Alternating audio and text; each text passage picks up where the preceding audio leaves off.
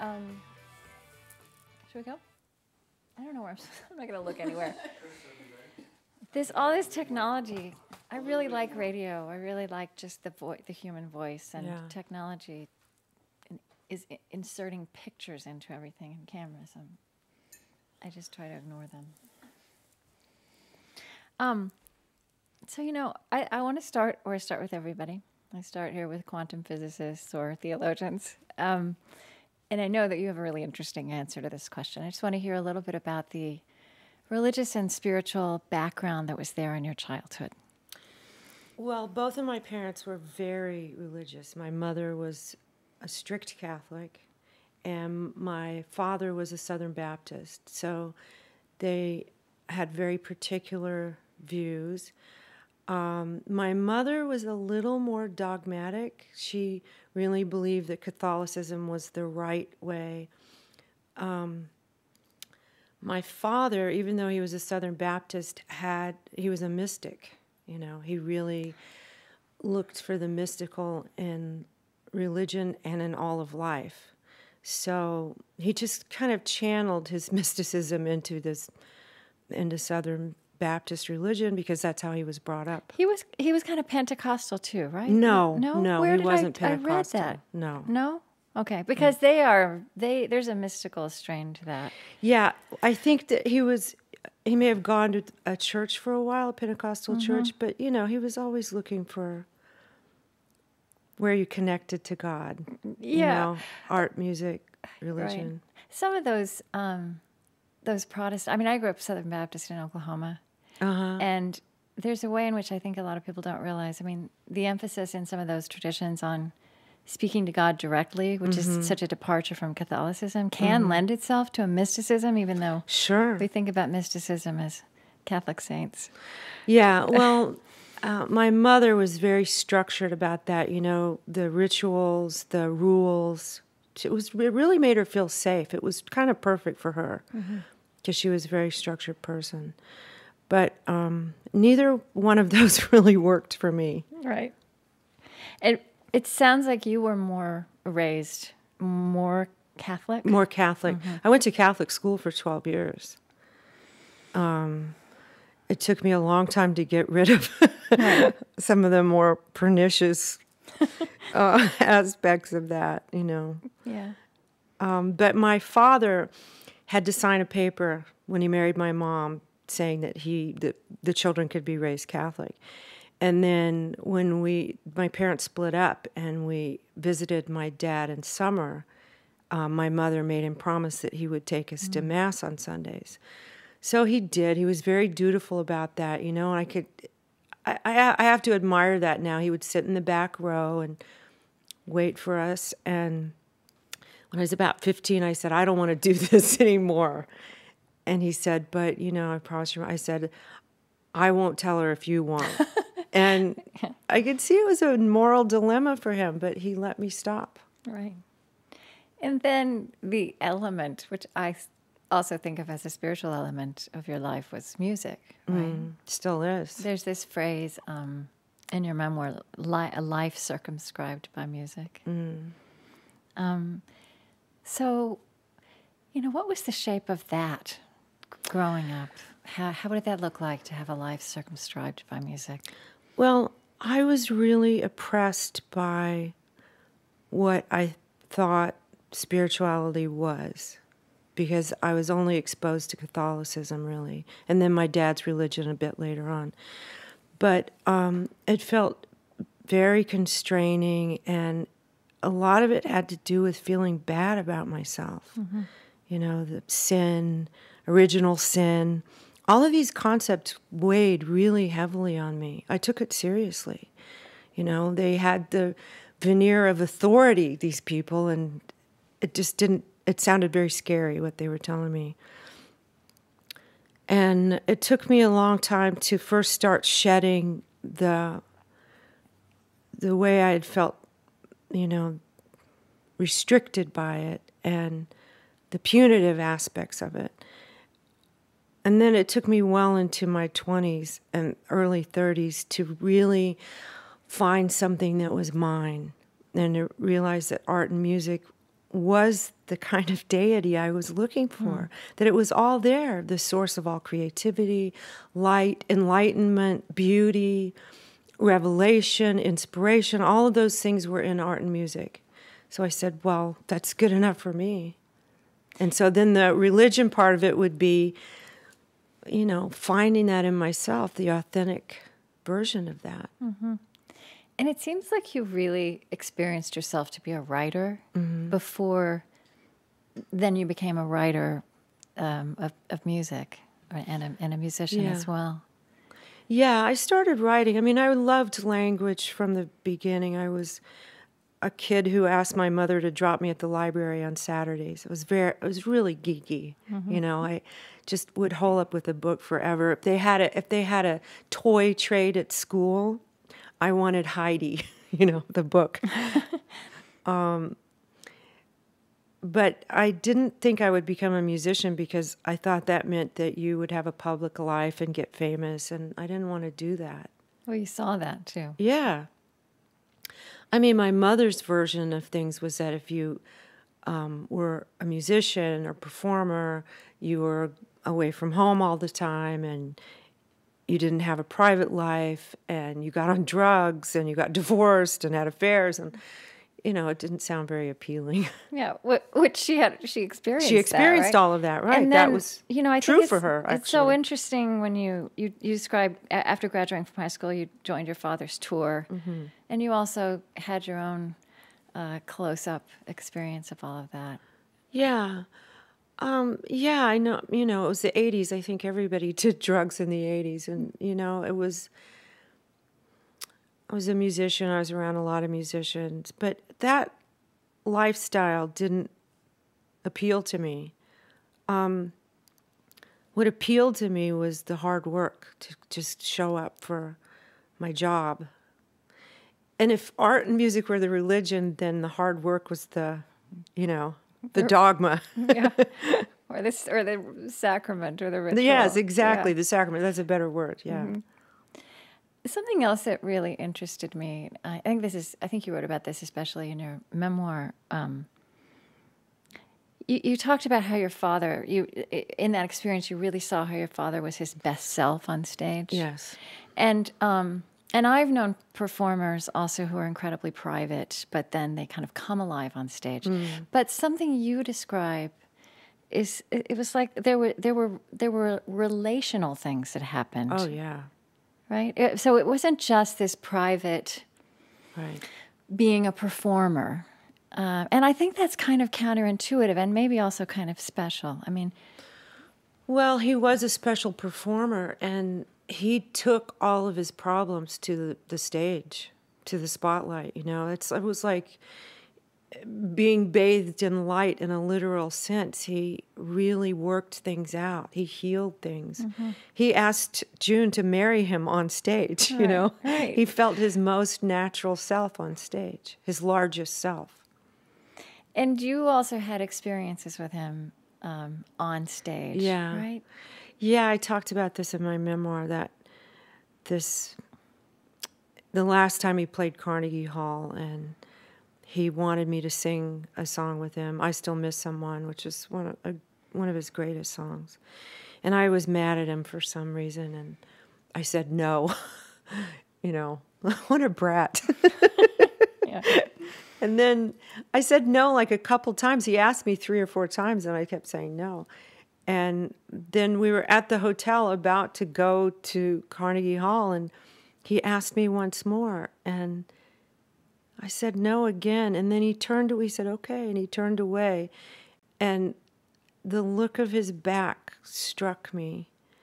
Like, because I had seen that angle of his back from the wings so many times and it filled me with so much love for him. It really moved me deeply because that's, you know, seeing my dad on stage was seeing my dad. It was really seeing mm. into his soul. So I said, "Wait, I'll do it. I'll do it. I'll do it." And it it worked out like I hoped, you know? Like I didn't even know I hoped, but it worked out. I I sang with him and it, it all got fixed mm. On stage. on stage. That still happens, you know. Sometimes I'm playing with my husband on stage and we've gotten in an, in an argument or something, or, you know, we're tired, cranky, and it will all get worked out in some solo he plays or Mm-hmm. some note. But it's about the music then. Yeah, it's not about about, the, spotlights. And No, the it's about the music. Yeah, It's and definitely so about the, the music. uh, so the music then kind of transcends even that setting, and is that what you're saying? And the fact that they're You know, when I first became a performer, I I was so anxious about it, and it took me a long time to grow into it because I thought that being a performer was about getting a lot of attention, and I didn't want that much attention. Right. I liked the writer's life. I liked the privacy and the solitude and being inside my own little mind cave. And over time, I realized that it's not about the attention, it's about the energy exchange. I'm doing something for them, but they're doing something for me too, you hmm. know? And there's no hierarchy really. Hmm. It's, and some nights that exchange is so beautiful, you know? I, I can feel my own energy stretching out to the far reaches of the room, and theirs coming back, and there's something sublime about it. And also the temporal nature of it that at the end of the night, it's over. Right. It's like a monk's sand painting, it's wiped clean. Hmm. And so you can't grab it, you know, which is part of the the mystical beauty of it. You can't repeat it. You know, the next night might be just awful. Like Right. your energy might not expand beyond two feet beyond you and they're not giving you anything and it doesn't work. But, you know, that's the way life is. yeah, it's that spiritual discipline of knowing impermanence. Knowing impermanence and, and showing up even though you don't know what's going to happen. Were you surprised at times? I mean, because you know, when I read your, when I read about you, y- you had a lot of reasons to resist going into that same profession that you'd been surrounded with, and you you seem to al- always have been pretty aware of what you didn't like. Um, and then, you know, when somebody reads your biography, then suddenly in the '80s you start having hit songs Yeah. and um, I don't know. It's just it's striking. Did you wake up sometimes and say, "How did this happen?" Sure. I still do. um, I, yeah, I, the the trajectory of my career and my work um, has been one of spirals. Like I had a lot of success in the beginning, and not a lot of confidence, or mastery in what I was doing. I was just kind of fumbling and that's not to say it wasn't good you know my instincts were still good but there wasn't a lot of mastery so then later on i had a lot less success but i developed more mastery mm-hmm. And i became comfortable with the idea of not you know not having as much success as i'd gotten used to in the beginning. Mm-hmm. It all became fine. It all kind of just focused into what my work was and the reverberations of that were really beyond my control you know? And there's a lot of love in that you know? What do you mean by that? well my friend Steven Pressfield he wrote this great book called The War of Art and he has this great line in it he says you have to show the muse you're serious hmm. You know, you can't just expect to be hit by these beautiful bolts of inspiration and lightning. You have to keep showing up, even if, you know, you don't get hit for a year or two years. Just show the muse you're serious. Hmm. And then that, the relationship there feels like love to me. I mean, it feels like the heart opening. I think um, I think my favorite song on the Black Cadillac album is um, "I Was Watching You," Yeah. which really is about love. and time travel. Yeah, well, it's about love before life and beyond life. Yeah. That song was um, really um, odd in that it started with an image instead of a line. Usually, when I'm writing a phrase or a line or, you know, a couplet will come to me, and that's where this song will start. this song, I was just sitting at the piano and I saw this Texas road with headlights on it. And so that was the first line of the song, headlights on a Texas road. And then it's it started developing. I didn't know where it was going. And then I saw three verses, one before life, one during life, one after mm. life. And that love was the constant you know, and that w- what survives of us is love. It's like that Philip Larkin poem, mm-hmm. What Survives of Us is Love. So the song was kind of there. Sometimes I think songs are there in the ether, and you just have to have your skills good enough to get them. Right. You you used a phrase somewhere that a, the same phrase that, uh, that Bobby McFerrin used with me that that you catch songs. Yeah, which is a similar. I was just going to say you have your catcher's mitt on, which is just fascinating to think about. Yeah, and sometimes I'm afraid that if I don't get it down, that somebody else will get it. yeah, right. I like. I don't want you know I don't want Lucinda to get this one. yeah. So you know, uh, this I didn't expect to think about this, but something that I've talked about with scientists is um, there's this debate in science about whether, like, say, whether mathematics is invented or discovered. Do we come oh. up with it, or or is it you know is it somewhere is it somehow in the fabric of the universe, and we're able to uh, turn it into an, an equation? And it, it seems to me that it's a similar idea. It's the same thing, and now you've stumbled on an area that I'm endlessly obsessed and fascinated with, because fractals in nature, that perfection of math, that to me is uh, is God, and that's the same thing as as art. You know that there's some creative force that organizes all of these things, and like you just said, we we glimpse it. We can just a little bit see it, you know, and understand it. And our math is like the fumblings of a, you know, a toddler hmm. trying to talk about something that already exists that's so perfect and so complicated and full of so much mystery that we can barely touch it. And you know, some of the people I, I trust the most who wrestle with this question of invented or discovered, well, what they'll say is it's it's both, right? Which well, is sure. way, a way of talking about creativity as well. Yeah, sure. Because if you don't have the skills to yeah. interpret it or mm-hmm. bring it into being or create it, you know, then it's it's law. It's somewhere else. It's it's still out there. Right. I mean, lost. there's the image that you got. Yeah. The picture of a highway to Texas, yeah. and then you turn it into something, and right. so it's a it's both and. Well, and then there's also that you know, the unknown element of genius. There are some people, some writers, some songwriters I admire that I consider genius, and and that I'll never be, no matter how hard I worked, I wouldn't have the skills to catch those songs. You know, you think of it. yes.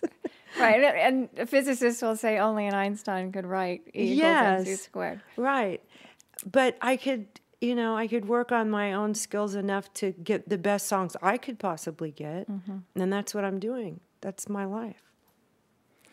So, so here's something else. And again, with the Black Cadillac that I've thought about. Um, actually, I have a daughter who's becoming a songwriter. Oh, so interesting her. to watch that. So,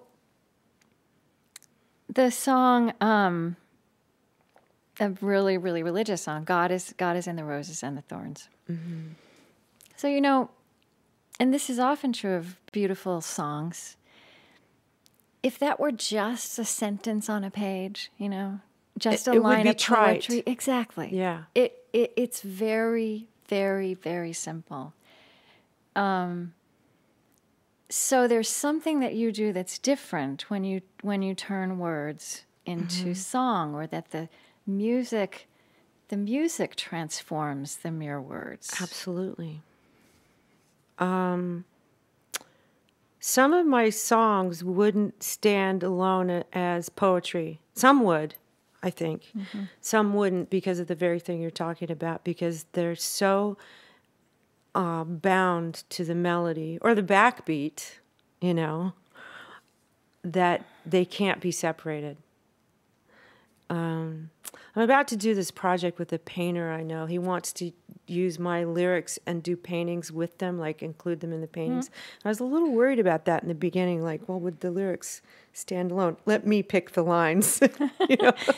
but um, yeah, I mean, that's by nature the definition of songs is that the music is half of it, at least. So it means that when, I mean, so the difference is, say, when you were younger and you you wanted to be a pure writer, it mm. would have been a different kind of writing. There's there must be a whole different kind of instinct, intuition, that goes along with writing words that are going to become songs. I'm just fascinated. Yes. I'm just yeah. Yes, and the way I learned that is by listening to great songwriters. My dad is a truly great songwriter, and he the way he uses southern imagery and um, he's one of the greatest in that. And you know, he's documented these things in time, like Big River. There's that kind of America doesn't exist anymore, where St. Louis to Memphis was an exotic trip, you know, and his use of uh, onomatopoeia and alliteration, you know, in this really instinctive way. That's genius. So listening to those songs changed me, obviously, fundamentally, and listening to the Beatles, the the precise song structure, huge impact on me. And then as I got into my teens and 20s, I would write down lyrics that I admired just to see why they worked. Why is that so good? And I had this Bob Dylan book of um, his lyrics, and I read them over and over, and I would listen to the record and notice if he changed a pronoun or a the or an and, and that would mean so much to me. And it had great significance. So much so that when I look at these lyric sites online now and I see they've completely mangled my lyrics, it just, I can't bear drive it. Drives you crazy. It yeah. drives me crazy. I know what you mean. That has the transcripts as well. It- Yeah. yeah. There's something about if, if the way the lines are broken up is mm-hmm. important, whether it's an and or a but is important, mm-hmm. you know? and mistakes are really really a big deal so I, so did you find this also when you were looking at bob dylan lyrics that that it would be a just as a sentence on a page it would be trite but in a song it was Well, not him. Some people, yes. Generally not Bob. um But that you said now that God is in the Roses was the most quote religious song. well it is an o- it's an overtly Yeah. religious song it's a god song Yeah, except the imagery in it is not necessarily religious because, um, you know, the last verse about the middle verse about the being in the cemetery, the sun is on the cemetery, leaves are on the stones.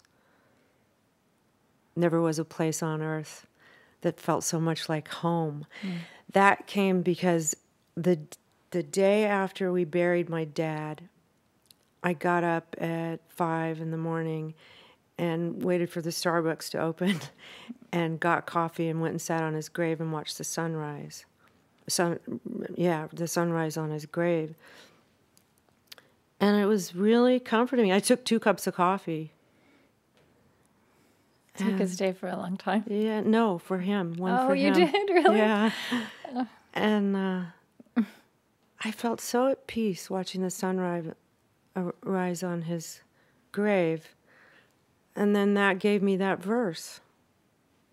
But then I, I wanted to go out to, you know, more than just my personal experience, um, saying I love you like a brother, a father, and a son. And now when I sing that live, I sing I love you all like brothers. how did that happen I don't know because I feel a lot of uh, peace and again love when I sing that song and compassion for people who've lost people. We should sing "God Is in the Roses." I should sing it. Would you? John should play it though because I. Uh, yeah that'd be great Do you want to play it? John usually plays this. yeah Why not? yeah I don't know how we'll do this, but I don't need to. I can sit Indian style on the floor. I mean, we're not. just bring your chair you over. or, or I could move. I could stand. Oh, Trust me, I'm so used to sitting on our living room floor. That's great.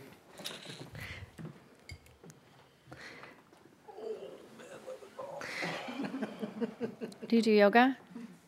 I don't, but I'm flexible. I I am. Okay, athletic, like, I'm going to recommend that you should start now so you can maintain that. Yeah. So the reason I asked John to play it, I wrote the song on, um, you know, like feel a, it. Play it. well, like I wrote it like a little a folk song, and then when we recorded it, I actually Bill Bottrell produced this. You know, he transcended it into something hmm. else, and then John, when he plays it live, transcends it into hmm. something else hmm. too.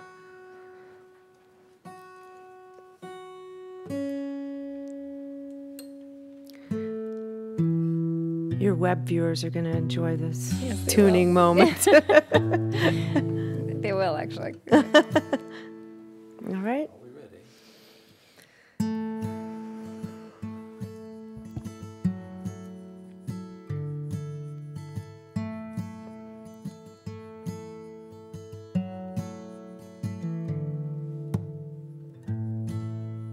God is in the roses, the petals and the thorns,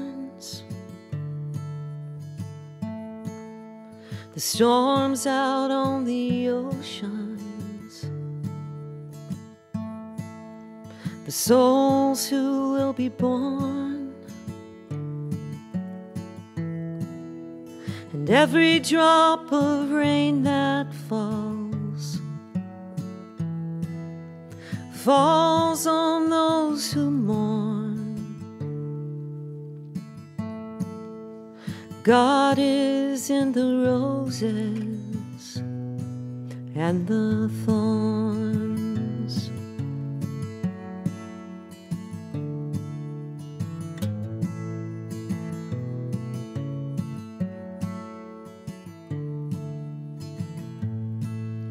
The sun is on the cemetery. Leaves are on the stones. Never was a place on earth that felt so much like home. We're falling like the velvet petals. We're bleeding and we're torn. But God is in the roses and the thorns.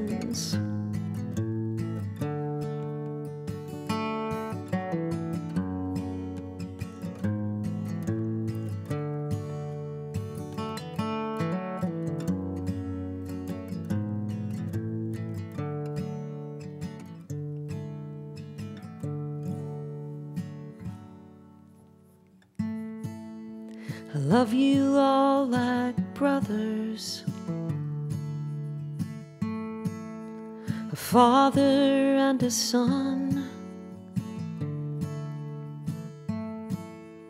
It may not last forever, ever. But it never will be done. My whole world fits inside the moment I saw you be reborn. God is in the roses, and that day was filled with roses. God is in the roses and the thorns.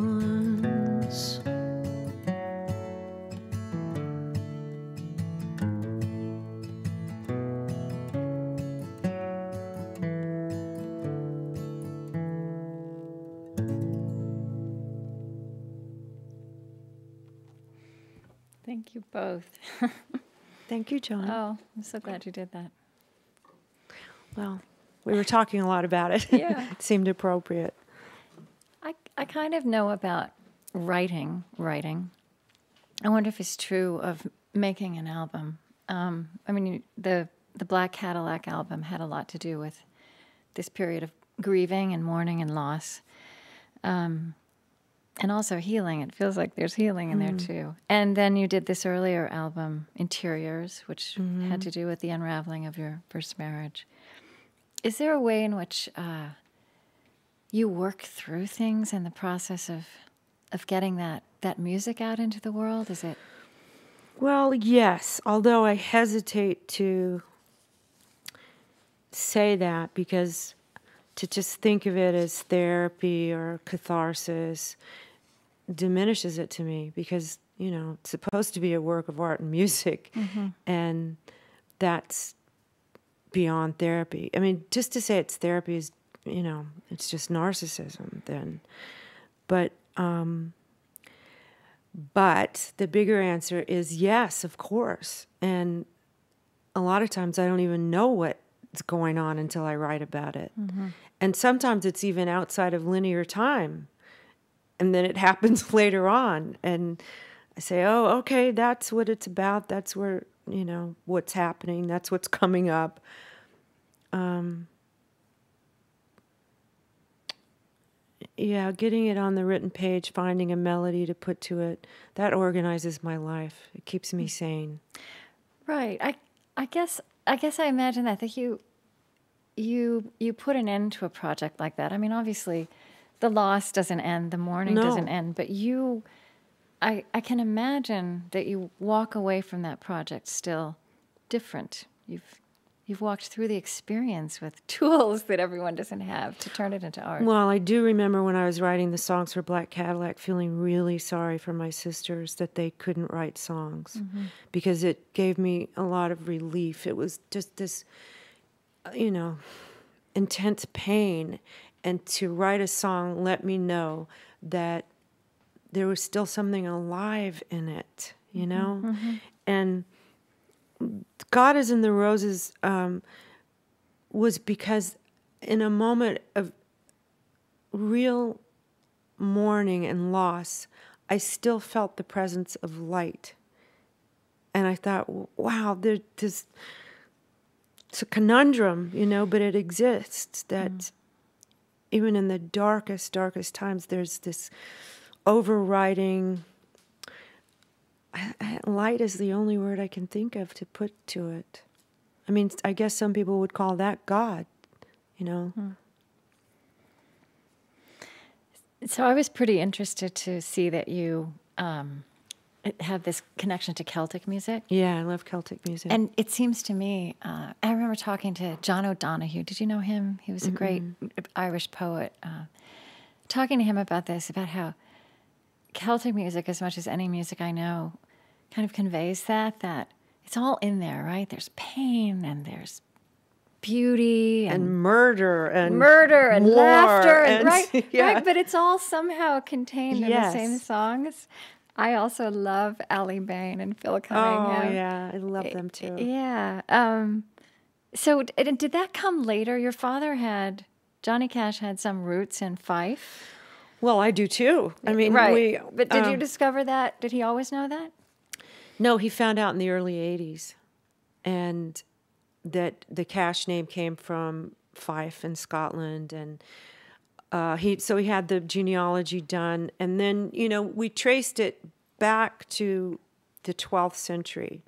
The, the name began there. Of course, you lose generations along there and people, but it seems that that's where it, it came from, and definitely in the in by medieval times you know the Cashes were well rooted there. And then the first Cash left there in the 1600s and came to america.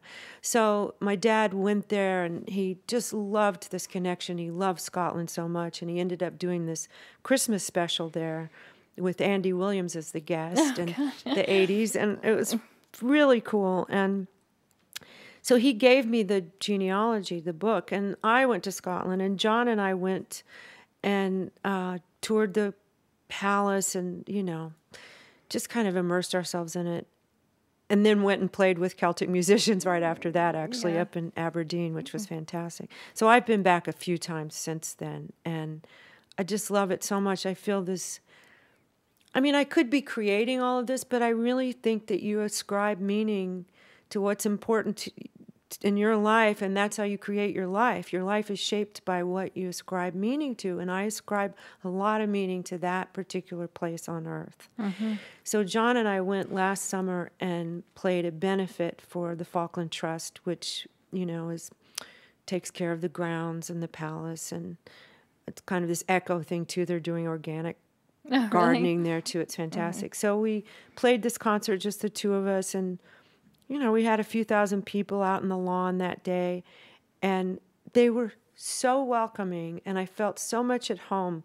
By the last song, I was crying, you know, and then people in front of me started crying.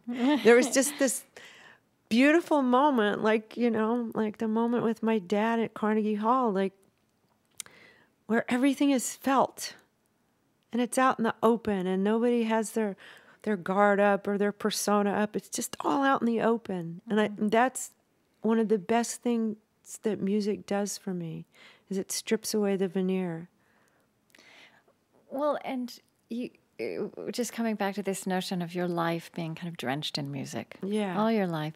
And I think Scotland is a place that's drenched in Oh, music, right? it is So I can imagine that kinship is more than just genetic.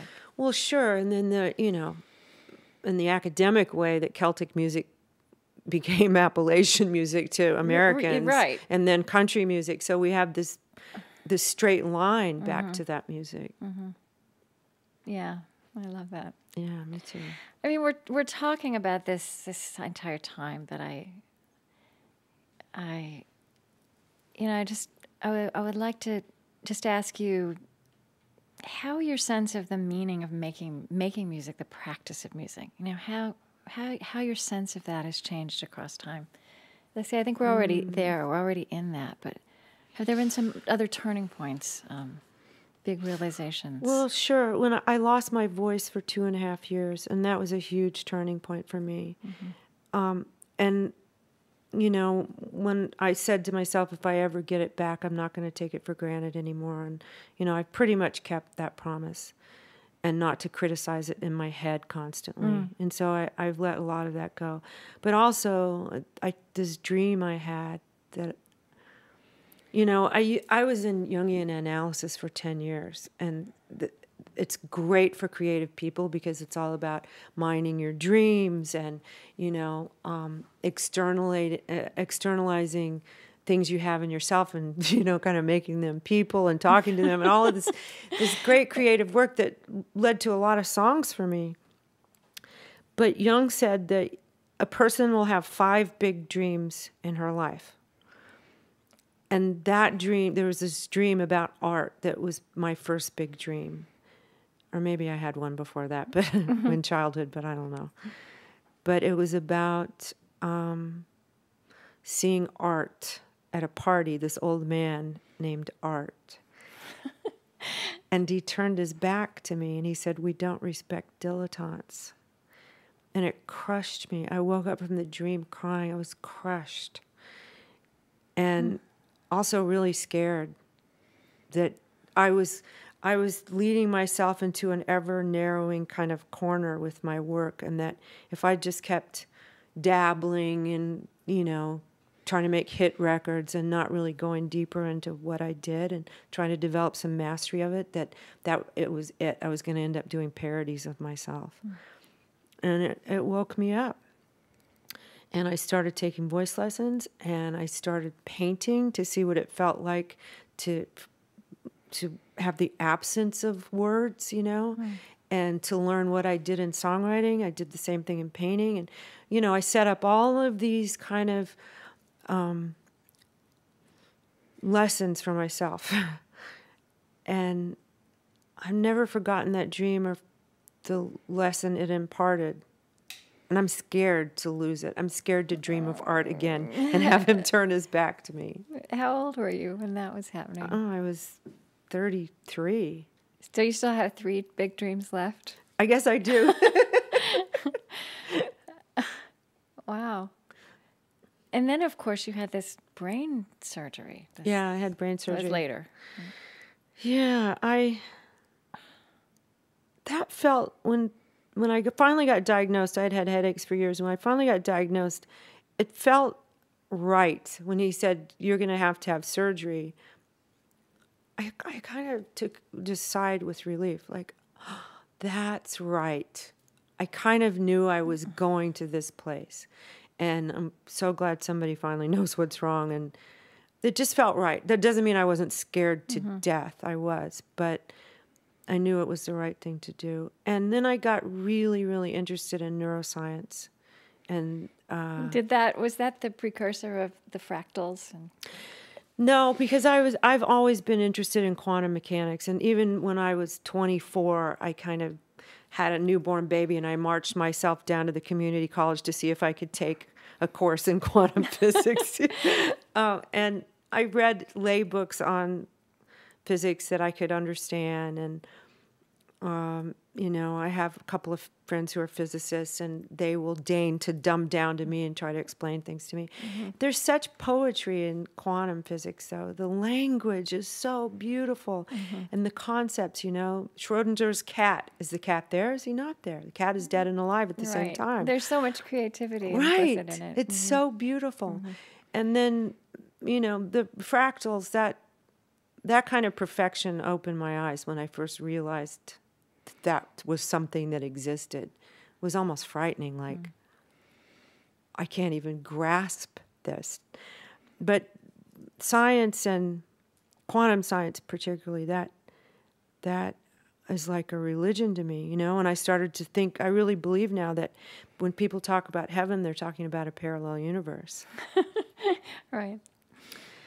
But when I had the brain surgery, um, I did get interested in neuroscience and music. And m- my friend Dan Levitin, who wrote um, Your music. This Is Your, Brain, on Music and The World in Six Songs, you know, we started doing these things at uh, at science academies together. He would talk about science and the brain and music, and I would play a couple songs, and we'd talk about my brain surgery. And you know, I think I- got I had a slightly different perception of music after the surgery.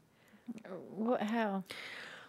Well, part of it could be just pure physiology because I had a part of the neural signal to my left ear was compressed or compromised in some way, and it got better during the surgery. And the neurosurgeon told me after he was really pleased to see that signal improve. Well, unfortunately, I had the hearing of a dog in that ear for like six months. It was excruciating, and any sound would really bother me. But um, that settled down. I'm still sensitive to some frequencies. Actually, my husband knows the exact frequency I'm I'm sensitive to. Um, but something else happened beyond that, the hearing thing. It was as if a a layer got removed, and I felt myself able to improvise better and hmm. just let myself go into things without trying to control them as much. Part, I, I mean, I think part of that is chronic pain. You know, when you're in chronic pain, you do have kind of a veil over your senses. So that could be it. But there was something more subtle too. And you were you, it was something that you were just immediately aware of. not after the surgery. immediately, not immediately, but the, because I didn't play music for a while afterwards. I couldn't stand lyrics for a long time. But it, it became noticeable to me when I did start to play music. So my friend Lisa Randall, who's a theoretical physicist, right. physicist at Harvard, so I told her about this, and she said, um, "Has anyone taken this data down?" I said, "No, you know, but I, I have this friend, these friends who are neuroscientists who specialize in music." She said, "They're not asking you the right questions." she said anecdotal evidence is really important. They need to, you know, take this down. So Dan and I have been talking about that. Mm-hmm. Mm. You know, one of the things I didn't want to do when I thought about interviewing you is asking you the questions I think you get asked a lot. That's And I really want to talk about you and not your father or your father as as of course he's a huge part of you. But this the list, you know, is um there's been a book written about that the list and you and this in your life and um I just wondered if you would tell a little bit of, of that story of that and how the importance of it evolved and what that means for you, even as a musician, and as a person. Well, I went on the road with my dad directly after high school. I was 18. And I learned how to play guitar on that tour. That first summer tour, I was with him when I was 18. And the Carter family and Carl Perkins were on the road with him as well. And there was time spent in the dressing rooms. And they taught me how to play guitar. And Helen Carter taught me all the Carter family songs. And I was so into it and I was so into being with my dad with for a long extended period after you know I was a kid of divorced parents and I spent vacations and some weekends with my dad and so here I was out with my dad so and immersed in his life and there were long hours on the bus and we would play songs he would play songs to with everyone and he said to me one day, he said, Do you know such and such a song? I said, No. And he looked a little alarmed. He said, Do you know this song? I said, No. Mm-hmm. Then he got really worried and he spent the rest of the afternoon making a list for me of what he called a hundred essential country songs. And he gave me the list and he said, This is your education. And I wanted it. I think that even if he had given it to me two years earlier, I would have been like a teenager, like, oh, okay, you know. But I wanted it. I was learning to play guitar. I was wanted to be. I could sense that he was giving me a huge part of himself, and so I saved the list. And I did learn the songs. I did learn the songs, and I put the list away. And I just wherever I moved, I carried it in my box of letters and memorabilia, and didn't think much about it. And in 2006 um, no, it was 2004 because my dad had not been dead that long. I was going through my box and I found the list. And I said, Oh, this is this cool thing dad gave me. I forgot about this. And then when I wrote the songs for Black Cadillac and we recorded Black Cadillac, I put that into this narrative part of the Black Cadillac show. I said, hmm. when I was 18 years old, my dad made me this list. And then I did a couple of songs from the list. Well, everybody started coming up to me saying, What about this list? when are you going to record the songs from All the list? 100 songs. Yeah. Yeah. And so I said, you know, as was my natural knee jerk reaction, I said, no, no, no, you know, I don't want to do anything to trade on my dad. I, it was like my default position my whole life, to my detriment at some point. Mm-hmm. And then after Black Cadillac, it was so intense, such an intense experience emotionally, you know, and to do those songs about mourning and death every night, it was just I was exhausted at the end of it, and I said, I don't. I want to make a, a cover record next. Okay. And John, my husband, said, Well, if you're going to make a cover record, it's got to be the list. And it hit me. Well, of course. Right. And the other thing that hit me at the same time is that if I didn't claim my own legacy, someone else would co opt it. It would happen. Mm-hmm. Why was I pushing away this thing that was so essential to my own nature that was important to my children, it was time to claim it. Mm-hmm. Was it fun? Was it? Yeah, it was. It was fun. I was um, still recovering from brain surgery, so it was. Um, I couldn't spend as long hours in the studio as I usually could. Um, but the songs themselves were, as we said, they were healing, and it was exciting. Do you have a favorite? From the list? Yeah. Or maybe the favorite changes. It does change depending on how I feel. And, you know, I have to give a lot of credit to John because he assembled the the record. You know, we talked about which songs were important to record, but he assembled it and arranged it because, like I said, I was still sick. I was mm-hmm. still recovering, and um, Long Black Veil was really important to me. Um, to record that song because it's so identified with my dad. But my dad and I both identified it with Lefty Frizzell. But when I was recording it, I kept thinking, oh my God, if dad could hear me sing Long Black Veil, he would fall over. He wouldn't believe it. He would be so happy. Isn't there a Mick Jagger version of that too? Didn't Oh, Mick I'm sure there is. A lot of people have That's the recorded one that it. I had yeah. in my head. Yeah.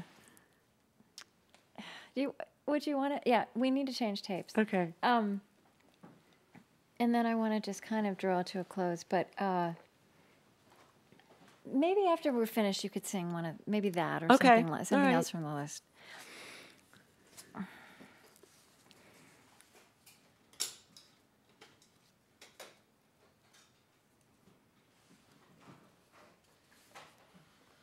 Something from the list. Hmm. Okay.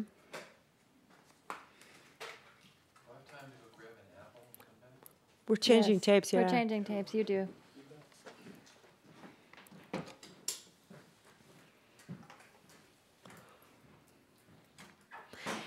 You know, on my Twitter page, Yes. my profile says that I'm a Buddhiscopalian. I know. I know. Don't don't talk about it yet. We're gonna get there.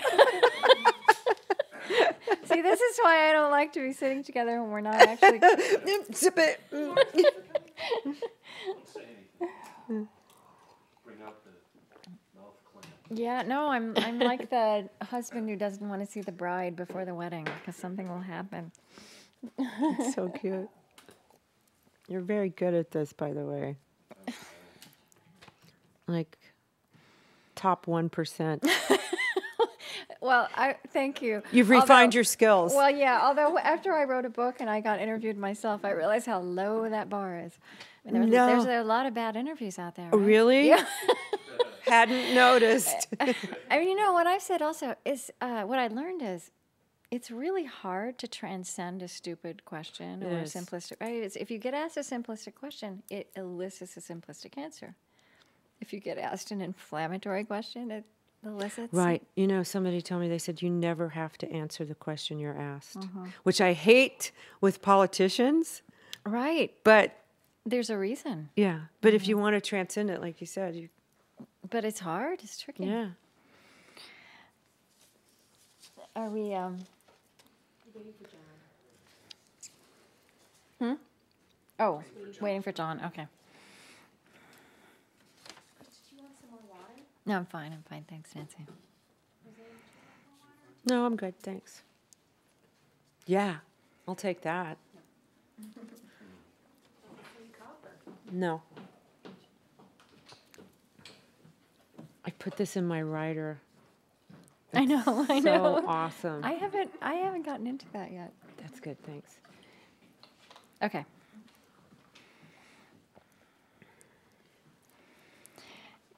So let's talk about Twitter. Um, I mean, it's int- Are you? This is another thing. Are you, are you surprised? You, well, first of all, none of us would ever have imagined Twitter, No. but this has become. I, I would say, especially with you, it's there, you have a big Twitter presence. A big. It's a big part of your public persona. Yeah, I don't do Facebook. I don't. I mean, the record label does. I don't go on there. Um, Twitter seems perfect for me. It's, you know, 140 characters. As like as Mike Doughty says, it's boot camp for songwriters. If you can say it succinctly and somewhat poetically or with humor in 140 characters, that's great for refining the skills as a songwriter. And also, I mean, much more than that, the cafe society that Twitter is is so wonderful. I have met, you know, professor of philosophy, other musicians, writers, moms, doctors, m- tons of media people. It's really great, and um, I've learned a lot uh, and made real friends. You know, Yeah. Right. And that's a little bit counterintuitive. And also, what's interesting to me is people often use the words brainy and Twitter with you in the same sentence. And I wonder, just as you say that, I wonder if it's partly because you, it's this art of songwriting that, Well, yeah, also because I'm a geek and I like really geeky things. Like they posted a periodic table that was interactive. I just was on that like a game forever. Uh-huh. And, you know, the whole Jane Austen thing, I try out my Jane Austen persona on Twitter, which is really fun. And that also helps hone language too. And I, mm-hmm. I love language. Mm-hmm. It's it's fun. And the one of the really fun things that has happened in Twitter recently is I met this woman who is a knitting teacher and she writes knitting books, Kay Gardiner. And I asked her to give me a lesson, so I learned how to knit from Twitter. Did you do it on Twitter, or No, you, you then come- had to connect? Right. We first met in a coffee Twitter. shop so I could make sure she wasn't a psycho. yeah. and then she came to my house. And you do describe yourself there as a neo folk Buddha Buddhiscopalian Buddhist Capellian. pagan post feminist progressive. Did I get it right? Yeah, that almost covers it. Okay. Yeah. Well, you know, I put progressive on there so that the some of these people who follow me who expect me to be something different don't get a nasty surprise. And um you know, a lot it's some of it is just kind of tweaking people. But Buddhiscopalian is actually kind of close to what I feel myself to be religious in religious terms. Buddhist because um, I actually studied more about Buddhism than I did any other religion, and it makes the most sense to me. Self awareness, compassion, nonviolence. Also what else? impermanence that we talked the impermanence, right? Uh, per- performance, right? But you know, compassion, nonviolence. What else do you need in a religion? I don't need to play team sports in a religion. um, and Episcopal because my girls went to an Episcopal school and I love the church. It's in Greenwich Village and they do a lot of outreach to gay, homeless young people. So that's a progressive church. They're very ecumenical. Um, there's somewhere that you you use this phrase, the pantheon of my religious desires, which is also another way of evoking that list. Yeah, religious capital R, not religious as in religion so mm-hmm. much as in that great expanse of creativity and spirituality that is all the same thing to me. Mm-hmm. And I want so much to touch those things in my life and in my work. And I just keep looking for the veil to be lifted, even in a fraction of a moment. You know, I'm always looking for that. That's my religious desire. Is um is mystery a word you use? Carefully. I use the word mystery carefully. There are mysteries, you know, fractals are a mystery, and songwriting is somewhat mysterious. There are mysterious moments. Um, and I like living with the questions rather than the answers. Tom Waits said this great thing about songwriting.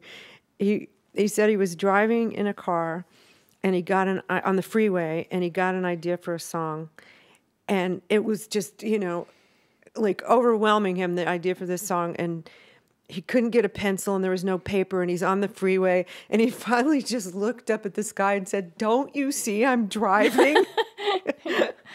and I feel that way sometimes too. Don't you see I'm getting my child off to school or helping with homework or you know, just trying to be available. One thing that I, I think is really intriguing in your stories that I want to ask you about is your is the sense of place in your in your life in music. Um, I mean, you're born in Memphis, but then you moved to California. But what's more obvious is this Nashville, New York axis, mm-hmm. and those are really two different universes in mm-hmm. in this culture. Well, I spent much longer in California and I have spent much longer in New York than I ever did in Nashville. I only lived in mm-hmm. Nashville 9 years. Mm-hmm. Although it's, a, But- kind of the homeland of a lot of the music Right. that you're associated with. Or, True, and I had a lot of hit records there, but I never felt comfortable in the um, in the. I felt comfortable in the community of songwriters. There were great songwriters there, And that was exciting, you know, to hear what somebody had written and to go to their house and hear what they were writing right then and to trade songs. That was fantastic. But the marketing and the whole industry, I felt very uncomfortable in. And then I, I also think of this in this sense of place category. You went and sang at Folsom Prison, you and John, this March 2011. Yeah. Uh, what, what was that like? That was a time travel experience too. Some of these experiences that have a sense of mystery about them like that have something to do with time travel. It's so strange. We went there. They asked us to come to speak to to play for and to speak with um, their music and art program, and in maximum security, and um, so we went and I we played some songs for them. They played some songs for us. A couple people read poems. They asked questions. You know, it was a true give and take. And they had been very carefully vetted the the men who came to this, and it was very moving. And one man said to me, you know, my of course you know my father recorded this famous record at Folsom. Right. He also recorded a very famous record at San Quentin. And one man said to me when we were there, he said, I was at San Quentin when your dad recorded the album. And now he's at Folsom. so he spent virtually his entire life in prison. And he, you know, uh, that in itself was very moving. Then the guards took us over to the old dining hall, the old prison where my dad had recorded the the album. Oh, that was a moment at a time. It I I just can't tell you the feeling of that. It was it was time travel. I have to say, I watched a little bit of it on YouTube, and There's some of it on YouTube. yeah, it's just a snippet. But but what I noticed, I mean, I saw how moving it was for you, which you're describing now, but they also would pan to the men's faces. You know, I mean, they were just soaking this up, right? Well, I was too, you know, and one guy said to me, he said, Could you ever imagine being in my place? And I said, Man, some days you have more internal freedom than I do. Hmm. and it's so true. So true. We create our own prisons, don't we? Mm. Wow. So. I don't know. That just happened not too long ago. Yeah, in I- March. yeah. We went through a monsoon to get there. it was like the first monsoon in California in, I don't know, 100 years or something. Mm-hmm. I just I want to just end by just asking, you know, where what you're thinking about now. Where's the where do you see the veil lifting in I- unexpected places now? I think about my children and how I'm the middle of this ongoing story of my family. I'm not the end of it. And I'm interested in what they're going to do. One of them is a musician. Mm-hmm. And one, you know, I still have a young child at home, my son, who's 12. And every single moment with this kid is precious to me because there's no wall between me and my own mortality anymore. You know, both my parents are gone, and I feel this urgency to complete the things I want to complete. And in the same way, I, I just feel like I'll never read all the books I want to read in this lifetime. I'll never complete all of the projects and write all the songs I want to write. So I started taking music theory again and piano lessons just so maybe it'll be a doorway to go deeper into something. Um, and I feel more excited about it than I did when I was 14. I think that I think that's your last word. Anything else? Is there Do- anything else? Well, a song. yeah, a song. Um, shall, do you want me to play some? Whatever. What do you want to? Do you want something it- from the list, or you want something else? You get to. What do you feel like? Oh, I don't know. Um, I don't want to. I, I actually felt uh, when I was getting ready to talk to you, I didn't. I, there's so many songs, right? There's so many Yeah. songs, and I, I, I was wondering what what was most meaningful for you, and it must be interesting in your position that some of your songs are big hits. Some of the songs, what is it, Seven Year Ache, that everyone mentions in the first breath. yeah. But then you must have songs that that are more. Uh, you know, I, I think about how the eye, and you've talked about this too. The the eye for a writer or songwriter is not necessarily autobiographical, Yeah. but there must be songs that are more pieces of truth about who you are, Yeah. who you were then. Right. Right, and also um, my interpretation is not necessarily your interpretation of my own song. Um, should I move this up? Just want you to say something really interesting. Well, I'm going to do The World Unseen. This is also from Black Cadillac, and there, um, the first line, I'm the sparrow on the roof, is from the Psalms. And in the last few months of my dad's life, I read Psalms, the Psalms to him. And I don't think I ever realized how poetic the Psalms were. and then there's this line about being a sparrow on the roof just killed me. So after my dad died, that that's I wanted to start the song that way. I'm the sparrow on the roof.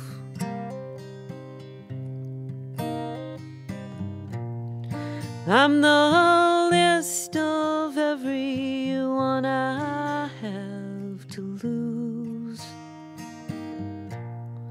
I'm the rainbow in the dirt.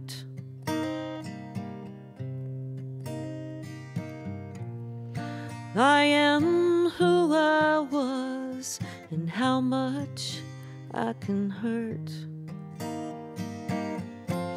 So I will look for you in stories of the kings.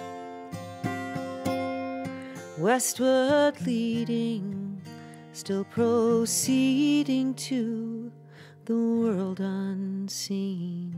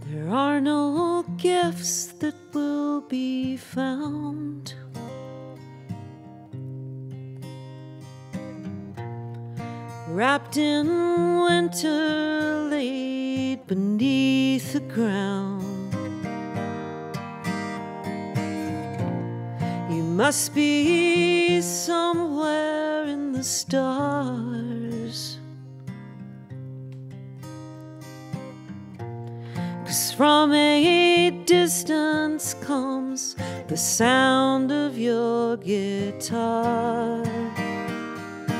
And I will look for you in Memphis and the miles between.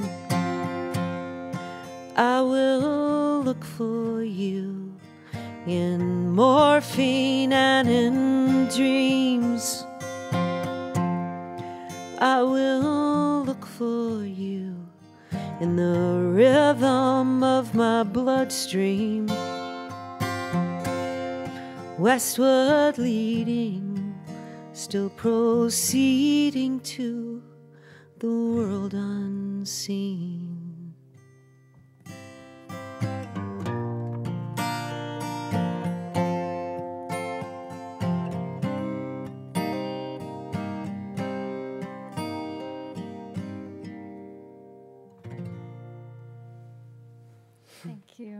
You. Thank, you, Rosanne Cash. Thank you. Wow, what a pleasure. Okay. Ah, I have to give you a hug. Oh. Sorry to tear you up there. No, it's a good day if I cry. I don't think there was much out there about that, about Your that Ju- Folsom Prison visit. You Folsom didn't know there was much? I, did- I mean, there wasn't a lot of publicity. No, there wasn't a lot online. I kind of stumbled on it. There You- was a TV news coverage of it. That's it. They It was didn't, local. they weren't Yeah, they- allowed to they- Yeah, film it's them in. Yeah, we didn't make a big deal. We didn't put Yeah, it on no, our website. it was like three minutes on uh, YouTube. It's just a snippet of you Yeah. singing, and they showed them. I think it was yeah, a feature from been the TV news. Folsom TV, yeah. Because they, they taped the whole thing, actually. So it exists if we Yeah. ever wanted it. You know, Oh, it it's- was heavy. Yeah. It's a deeply uh, compelling philosophical, ethical, moral vortex to do something. John had trouble with it at first, you know, because It's see, we were going into It guys really- who did it